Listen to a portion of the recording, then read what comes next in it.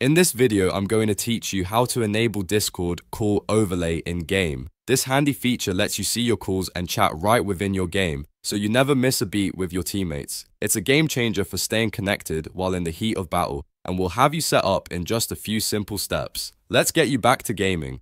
First, open your Discord application. Now, look down in the bottom left corner of the screen, right near your username. You'll see a small gear icon. That's your user settings. Go ahead and click on it. Once the settings window appears, direct your attention to the left sidebar. Under the section labeled App Settings, find and click on Overlay, which might also be called Game Overlay. On the main panel, you'll now see a toggle button labeled Enable Overlay or Enable In-Game Overlay. Make sure this is switched on so it turns green and shows a check mark. This activates the core overlay functionality within Discord. Optionally, you can adjust the keyboard shortcut to open and close the overlay.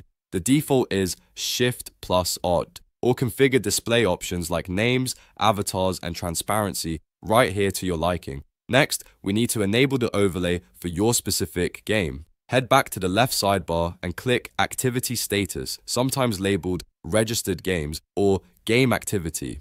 If your game is already listed, simply click the monitor icon or toggle next to it to turn on the overlay for that particular game. If your game isn't automatically detected, look for an option like Add It, then manually select your game's executable file and remember to enable its overlay afterward. Once all that's configured, launch your game. When you're in game, press your designated overlay shortcut. Again, the default is Shift plus S, and you should see the Discord overlay appear, showing your voice participants, messages, and other Discord features. A quick but important note Discord's in game overlay is primarily designed for Windows, so it won't work on macOS or Linux. Also, some games, especially those running in full screen exclusive mode, may not fully support overlays. If you run into issues, trying windowed or borderless windowed mode often helps. If the overlay still isn't showing up, even when enabled, here are a few quick troubleshooting tips.